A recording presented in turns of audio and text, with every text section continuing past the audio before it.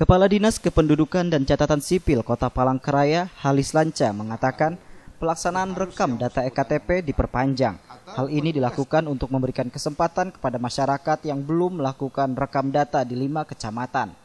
Hingga saat ini, telah terdapat 46.426 jiwa yang masuk dalam pendataan dan proses pembuatan KTP elektronik. Pada tahun 2012, pemerintah Kota Palangkaraya mendapat target EKTP sebanyak 122 ribu yang harus masuk dalam pendataan.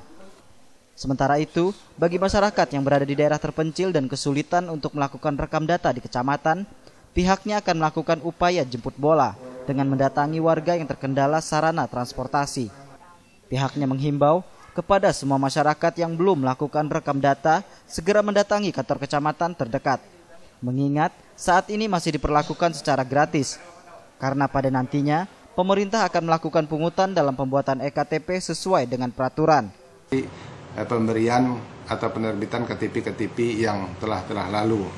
Jadi harus yang bersangkutan yang datang atau petugas yang datang ke alamat warga kita yang membutuhkan eh, hal-hal eh, seperti itu atau hal-hal khusus ya. Nah, jadi itu yang kita apa kita lakukan selama ini. Dan oleh karena itu kita minta kesadaran warga masyarakat yang merasa sampai saat ini belum melaksanakan perekaman data iktp kita minta segera mumpung ini masih ada kesempatan yang namanya eh, pelayanan gratis.